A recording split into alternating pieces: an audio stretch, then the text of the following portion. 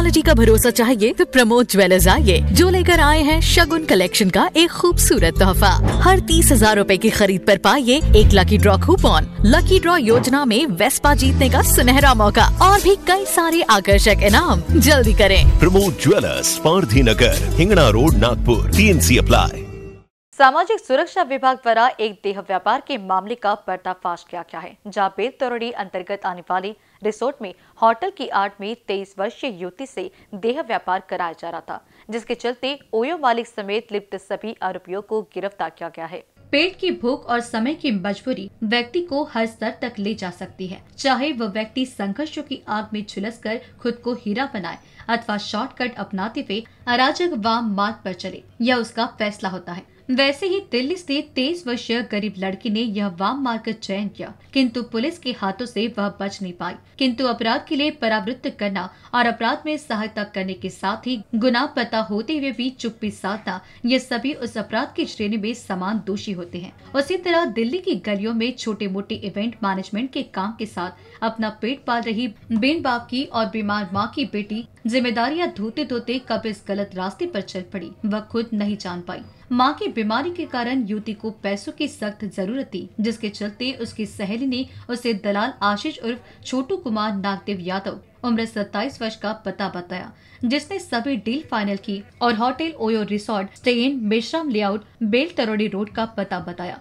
जिसके चलते युवती दो दिन पहले ही इस होटल में आई, जहाँ होटल मालिक 36 वर्षीय सूरज गजानन निकम ने पूरी सेटिंग लगा ली थी।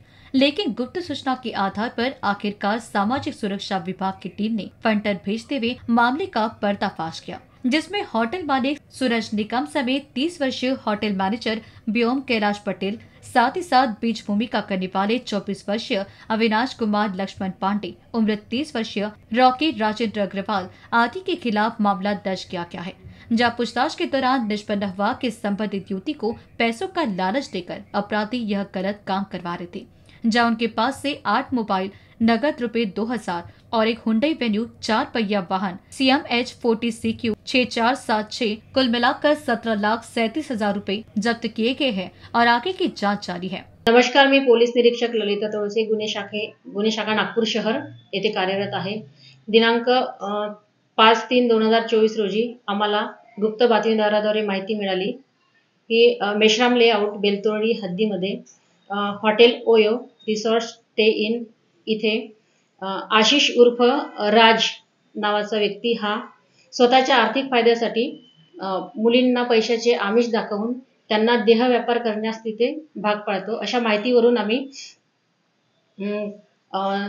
सापळा रचला आणि तिथे गेलो. त्यामध्ये आम्हाला एक पीडित मुलगी मिळून आली. यामध्ये आम्ही सर्व याच्यानिशी कारवाई केली असता. त्याच्यामध्ये आम्हाला हॉटेलचा जो मालक आहे हा सूरज निकम हा स्वतः त्या मुलींना स्वतःचं हॉटेल उपलब्ध करून देऊन दलाल आशिष उर्फ राज याच्या मदतीने आणि तसेच बी ओम पटेल हा हॉटेलचा मालक आहे याच्या मदतीने आणि आणखी तीन साथीदार ह्या असे मिळून सहा जणांच्या मदतीने त्यांनी स्वतःच्या आर्थिक फायद्यासाठी मुलींना पैशाचे आमिष दाखवून देहव्यापारास प्रवृत्त करून त्यामध्ये देहव्यापाराचा व्यवसाय करीत होते. आम्ही सापळ्या दरम्यान ते सर्व मिळून आल्याने आणि एक पीडित मुलगी मिळून आल्याने आम्ही पीठांतर्गत कारवाई केली आणि त्यामध्ये आम्ही एका पीडित मुलीची सुटका केली.